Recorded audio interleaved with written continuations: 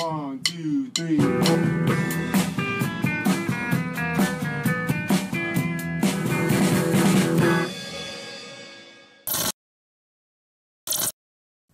There you go. Now, will you be having your feet up the entire time like that Yes. and being out of the shot? This is what I want to know as, as someone who's never done drugs. Although I think I have had, um, what do, what do they give you in the hospital? I, not a Xanax. Uh, after surgery. Propofol. Nah, maybe Percocet. Do they do that after Yeah, surgery? sure. That was the best.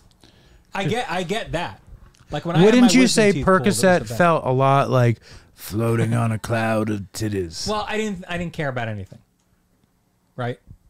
What I'm saying is now you're you now you're past that. Right. You're years past that. You're a smart person, so you could look back with some perspective and you could articulate for me, who doesn't understand this, because I'm half a moron or maybe a full moron. You could articulate for me. I get that the feeling is euphoric. Obviously, I get that people would seek a euphoric feeling over and over again. Obviously, I get that it's probably not the euphoric feeling that you're addicted to. It's probably the chemical change that your disgusting feet are addicted to, right? So it's the chemical change that's going on in your brain that's causing the addiction, not I love feeling like this all the time. You love feeling like it, but you might love feeling like it one time or two times. The fact that you love feeling like it every day is probably a function of the change that goes on in your brain as a result of whatever those chemicals are doing. Right? Say that again. What I'm saying is, although you love the feeling, that might only last one or two times, right? You might say one or two times, but when you become addicted to it, the chemical change, that switch, is saying, I want this feeling all the time, and I can't stop myself from having this feeling all the time. But it's not like that. What are you talking about? It's not like that. You did look at my fucking camera. You did it. You you were you were high. You said for forty years or whatever whatever number you said. It's it's everything about it you want. You want to you want to get the drugs. You want to fucking experience. You want to you want everyone to leave.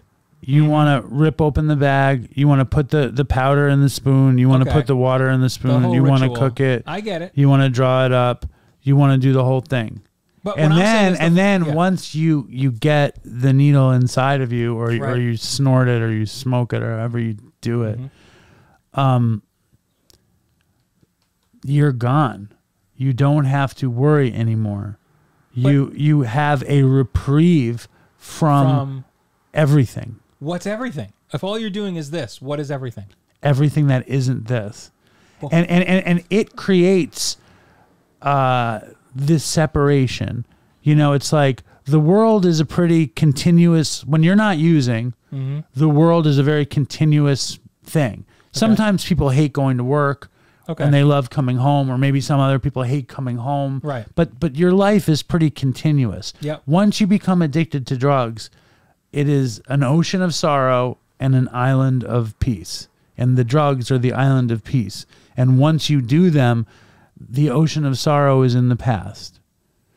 You know, and, is and the sorrow some sort of past trauma that you're? sure, the the ocean is a melange of past trauma, Mm. the everyday burden, fucking relationships that are failing because all you want is the island of peace, Mm-hmm. fucking getting the money to get to the island of peace, keeping your job so you can get the money to get to the island of peace, maintaining the masquerade so you, nobody worries about you to fuck up your high when you're on the island of peace. This ocean, it's like the island was once big and people could kind of step foot on the island, Right. but as the addiction gets worse, the ocean claims the island, Yeah. and the only thing that can stand on the island is you, and and the nothing drugs. else can fit, and the drugs. And then Huh. you're safe on the island, and you take one step off, and you're fucking drowning.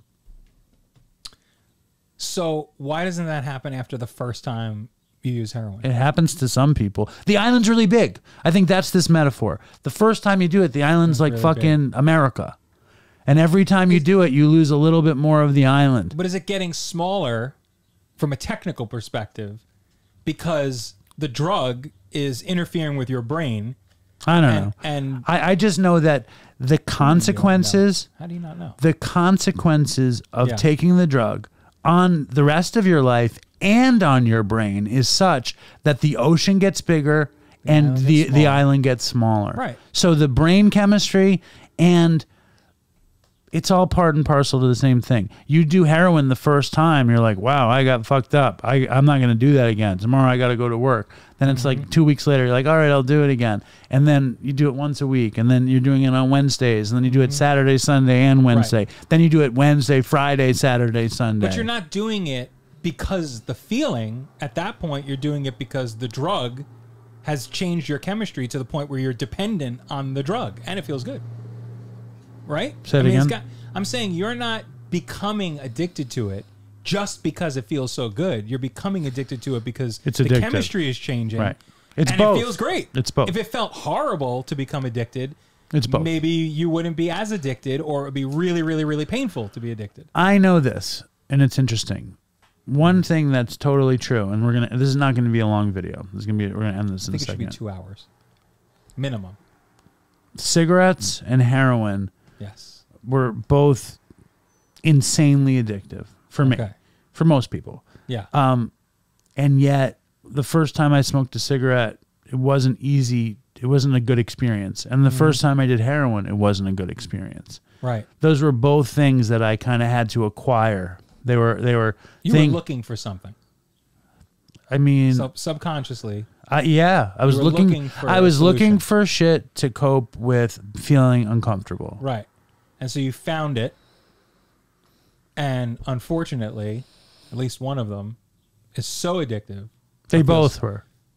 But would you say that cigarettes feel so good? No, but it. But what cigarettes did, I didn't want to not smoke them. I mean, and when I say that, I mean all day. You're talking about like what anxiety or something? I just didn't want to not be smoking. I if I would have a cigarette. I remember when I was in college. I think I started smoking. What what did it do?